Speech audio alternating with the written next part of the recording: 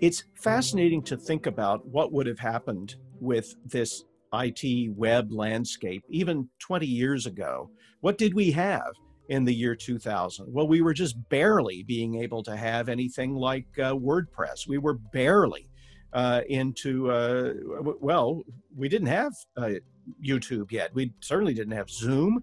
We didn't have uh, Slack. We didn't have Discord. We didn't. We had PHPBB, sort of, which is one of my go-tos trailing edge technology, as Jon Udell uh, puts it.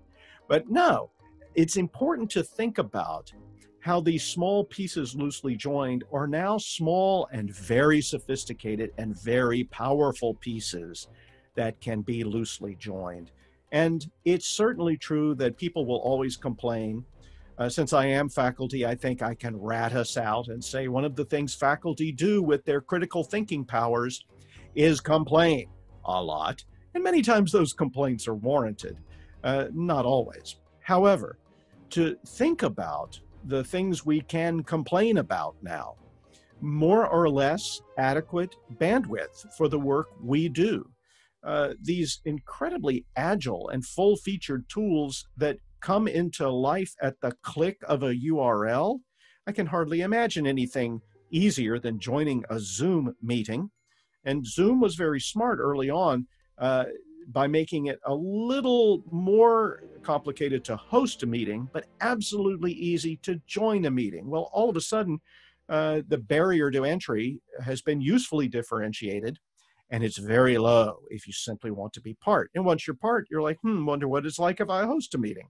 When we've had this terrible experience and we've had to find ourselves inventing madly, improvising, doing all these things off the cuff we'd never imagined doing before, is truly a cinematic opportunity. We're making movies on location together.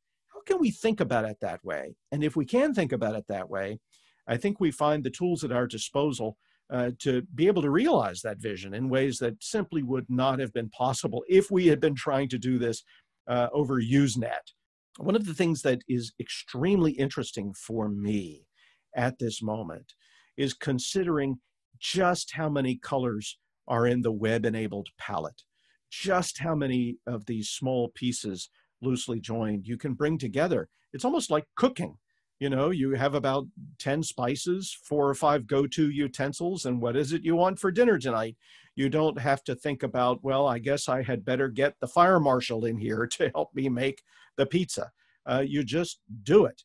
And uh, I hope that that will inspire more faculty as we move forward uh, to think about uh, how they can, you know, uh, bake their own, how they can, outside the confines of uh, a learning management system, be creative and, and invent these new kinds of recipes to do the basic thing that we're all trying to do, which is to establish communication, to be reliable in the way that we're able to uh, think and talk together, uh, and to be able to to do something that will build on itself over time. Uh, yeah, we it's a it's an unlucky moment at a lucky time, uh, which is another one of the great ironies thank you